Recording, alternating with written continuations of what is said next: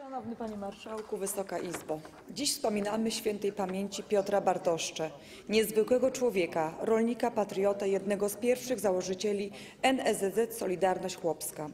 Aktywnie angażował się w działalność społeczną, czynnie włączał się w pracę nad utworzeniem rolniczej Solidarności.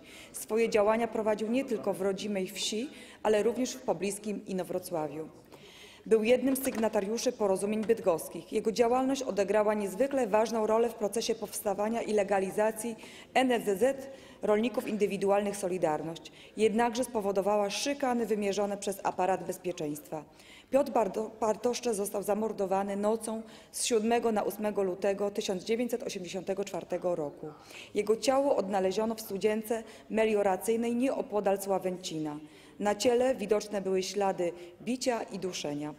Prowadzone wówczas działania dezinformacyjne oraz zaniechania poczynione w trakcie śledztwa spowodowały, że przez wiele lat nie można było wskazać osób odpowiedzialnych za jego śmierć.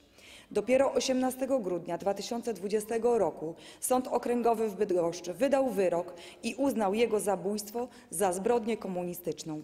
W 39. rocznicę śmierci świętej pamięci Piotra Bartoszcze pragnę przekazać podziękowania, wyrazy uznania za pielęgnowanie i godne kultywowanie pamięci o trudnej drodze do wolności i dozno, doznanych na niej represjach. Tym bardziej Bardzo musimy dbać o to, by śmierć Fryderyk świętej Kapinos, pamięci Piotra Bartoszcze nie była zapomniana. Cześć jego pamięci. Dziękuję. Dziękuję.